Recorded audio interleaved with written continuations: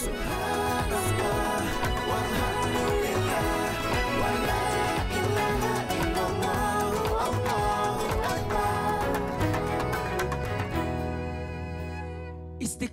anak yang soleh. Ini luar biasa. Ketika anak beristighfar mendoakan orang tua itu pertanda ke- kedekatan antara anak dan orang tuanya. Tanda-tanda anak soleh yang suka mendoakan orang tuanya. Dan hubungan yang luar biasa ini menjadikan sampai akhir ayatnya. La sogirota mal israr wala kabirota mal istighfar. Kata Rasulullah tidak ada dosa kecil bila selalu dia kerjakan terus menerus maka akan menjadi besar. Dan tidak ada dosa yang besar kalau selalu ditimpa dengan istighfar.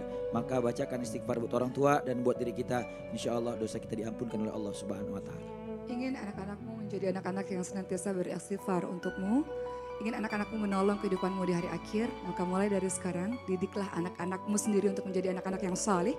Sebagaimana Allah Subhanahu wa taala ingatkan, "Qu anfusakum wa ahlikum nara wa wal hijar." Jaga dirimu dan keluargamu dari api neraka yang bahan bakarnya manusia dan batu.